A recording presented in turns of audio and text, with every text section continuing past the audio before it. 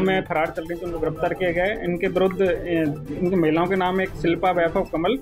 इनके विरुद्ध जनवरी में मुकदमा दर्ज किया गया था, जो लगभग सात आठ महीने से फरार चल रही थी, दूसरी महिला।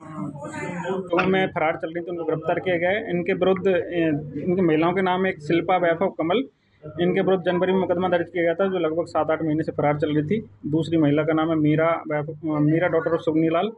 और इनके विरुद्ध अगस्त में मुकदमा दर्ज किया गया था। इनको आज सुबह गिरफ़्तार किया गया है। मान्य न्यायालय में इनको पेश किया जाएगा।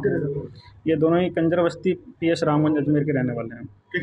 शराब के मामले हाँ अवैध इनसे हथकड़ नाजा शराब बरामद की एक महिला कौन सी कितने टाइम में फरार थी और दूसरी? दूसरी लगभग आठ महीने से और एक लगभग अभी डेढ़ दो महीने से फरार हुई तो कितने लीटर शराब थी? एक के तीन लीटर थी एक के दो लीटर। आज कोर्ट में पेश किया आज कोर्ट में पेश किया जाए